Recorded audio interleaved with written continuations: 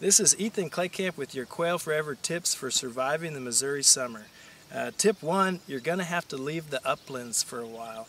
I recommend getting down to the Ozarks or just your nearest creek or river and submerging your body entirely. Um, and then once you've cooled off well, my next tip would be return to the uplands and try to find yourself in an amazing pollinator plot like this, um, like this second growing season here in northern Ray County.